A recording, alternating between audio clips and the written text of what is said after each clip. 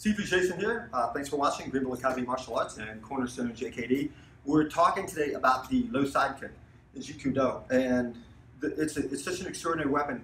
If you take a look at Bruce Lee's fighting method book, he's got uh, an entire section at the beginning of the book of defenses against different attacks. He'll have an attack while he's entering a car, and he'll attack from the side, and, and the answer for every one of these, just so you'll know, is that low side kick. Every time. The only time he doesn't use a low side kick is when the guy's so close, he uses like an eye jab.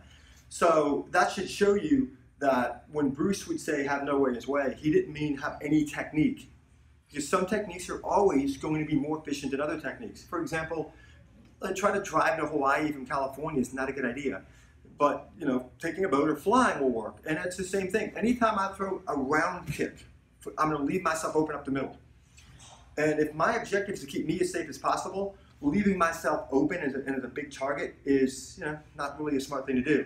Whereas the low side kick will work quite a bit for you without leaving you very vulnerable. It's a lot like, Bruce said it, it's like a boxer's jab, only it's much more damaging. Very hard to stop that kick because it's going at a target that is very vulnerable. Again, the shin and knee, don't kick too high, don't kick them in the hip. Uh, the higher that kick goes, I think the less effective it is. So it's going at a target that's very hard to defend the best way for someone to defend it is twofold. Number one, he's got good footwork, and most people don't have good footwork.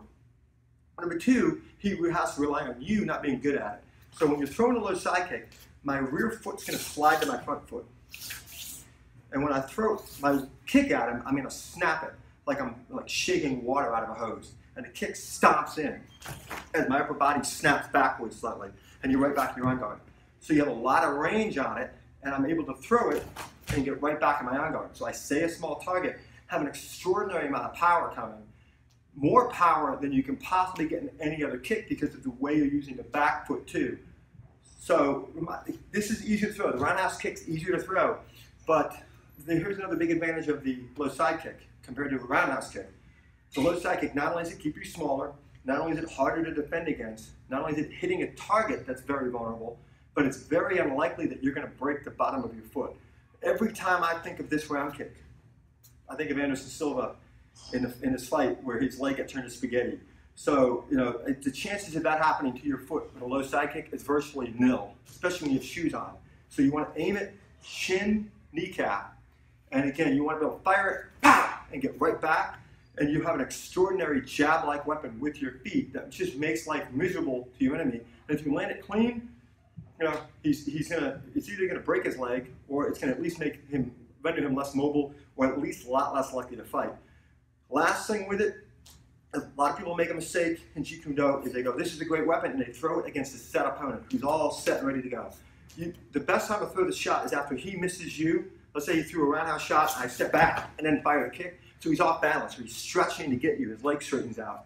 Or you've angled, and so you've done a quick angle step, and you're right back to your shot.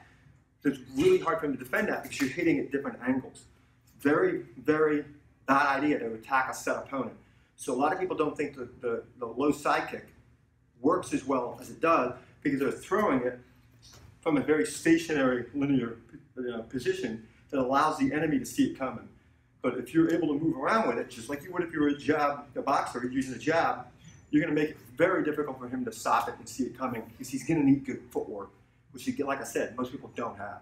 So hopefully this helped you out, and let me know if you've got any questions in the comment section, and thanks for watching.